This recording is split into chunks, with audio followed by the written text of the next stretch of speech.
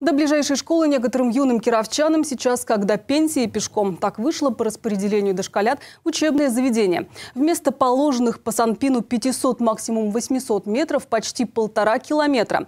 И те с препятствиями, какими решила выяснить Ульяна Ездакова. Вместе со второклассником и его мамой она прошла весь путь от дома до школы. Узнаем, какой он тернистый путь к знаниям. Диан, ну что, мы стартуем от вашего дома на Некрасова 8, и я замечу на часах 11 19. Первое, что нужно сделать – перейти дорогу по пешеходному переходу. Часто здесь случаются аварии, в том числе с пешеходами, рассказывает Диана, мама второклассника Ярослава. Видим сейчас пешеходный переход. С правой стороны стоит машина. Ребенок меньше ее ростом, и если он подойдет сюда, он, правда, из-за машины ничего не увидит. И с обоих сторон, причем у дороги стоят машины всегда, постоянно. Дорогу перешли, двигаемся в сторону Октябрьского проспекта. И тут нам на голову чуть не свалилась часть рекламного плаката, который вешали рабочие. Мы только что прошли пешеходная дорожка, и люди вешают плакат. Понятно, что им нужно, это их работа, но маленький ребенок может пройти, и ему, не дай бог, может что-то на голову просто упасть. Все живы, идем дальше. По пути Диана объясняет, когда увидела мартовское постановление администрации о закреплении адресов за школами, возмутилась. Четыре четных дома по Некрасово и часть домов по Комсомольской отнесли к 58-й школе. До нее больше километра пути. Хотя буквально в четырех минутах ходьбы есть другие школы 30-я и 31-я. Машины в семье нет, нет и удобного по маршруту автобуса. Остановка находится вот в той стороне.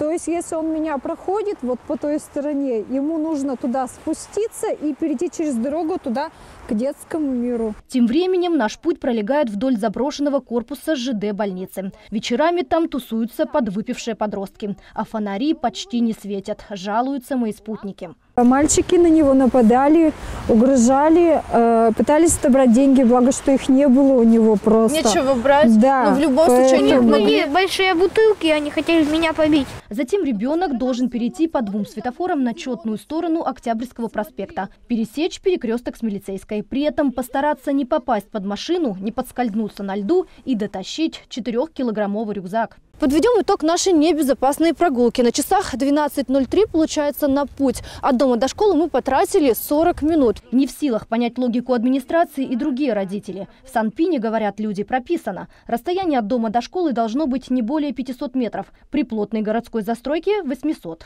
Я очень опасаюсь э, за жизнь даже своего ребенка, потому что сейчас неадекватных и пьяных за рулем очень много. Наших детей опасности подвергают. Наши школы были забиты детьми из чистых прудов.